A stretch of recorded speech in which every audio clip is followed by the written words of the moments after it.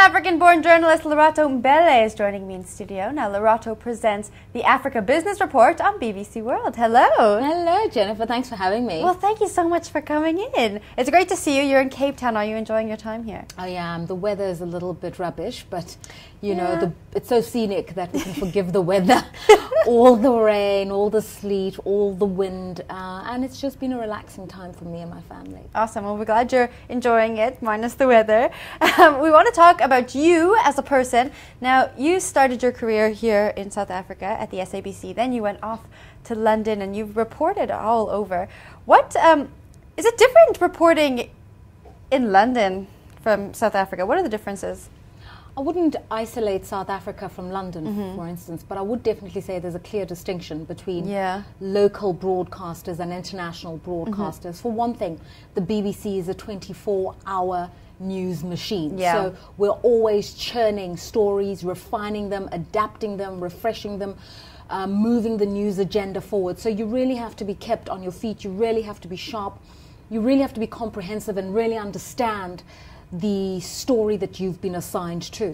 Whereas when you work for a local broadcaster, you are part of a news team that either hosts the news bulletin at 7 p.m., at 10 Right. p.m., or the 1 o'clock news. So you've got a little bit more time to conduct research, to interpret the facts. Um, and uh, yeah, to be more calm and relaxed as you approach a story. But I would say that having started my career in South Africa, the South African media generally mm-hmm. is quite thorough. Mm-hmm. Investigative and probing, and I think those are the tools that have really helped me on my journey at the BBC. Except the BBC is a lot more challenging and a lot more demanding. So it's not, you know, it's not just demanding in terms of understanding the news content, refining the news content, moving with the story as it mm-hmm. moves, breaking the stories if need be. It also means you've got to be flexible enough to travel for the story if you have Yeah. to. Yeah, well, uh, we all know here that being a journalist isn't an easy job. It's quite stressful. How do you deal with the stress, especially in the reporting you do? I imagine it's quite. Fortunately, as a specialist business and economics presenter, it's not as harrowing as doing news. I'm not covering airplane Breaking crashes, news. wars, Right. And refugees. And I think to that extent, it's a godsend because it just means my sensibilities and sensitivities are not peaked. Um, but it is grueling in the sense that Africa at the moment is this new growth frontier. People are very curious about what's going on on the African continent, the business and economic opportunities that exist.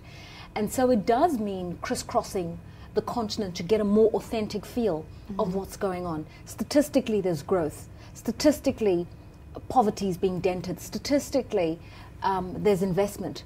But it's only once you're on the ground do you know whether the statistics have meaning to the lives of ordinary men and women. So you've got to be there in the thick of things. And that's when it's really challenging. But you know, when you've got a good team, it makes it easier to carry the load. When you've got a supportive family, you feel less guilty about traveling extensively. And when you've got viewers who appreciate what you're doing, mm-hmm. then it gives you a sense of purpose. And those things are the things that make it easier for me to cope.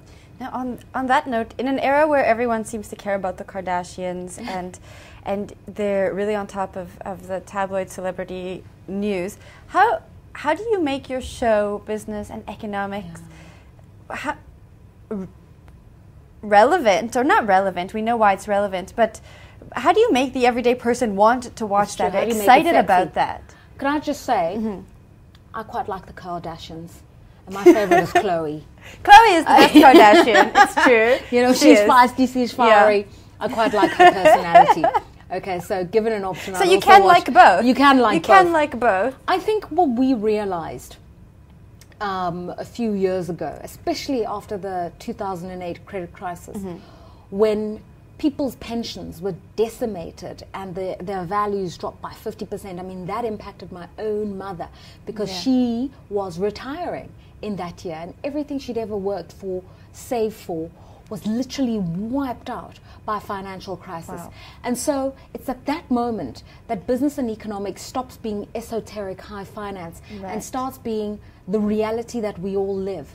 And now we're post credit crisis, post recession, but we're still talking about unemployment, jobs for young people mm-hmm. graduating from university, economic growth, economic policy. These are the bread and butter issues because everybody wants the right or the privilege rather i think to work. Everybody wants to be able to earn an income.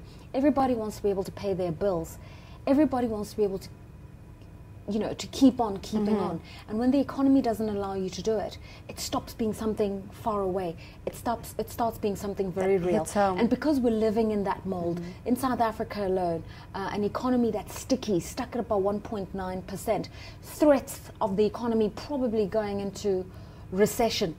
Um, retrenchments and job cuts en masse all of a sudden economics is not something over there. It's Yeah. something over here and in here.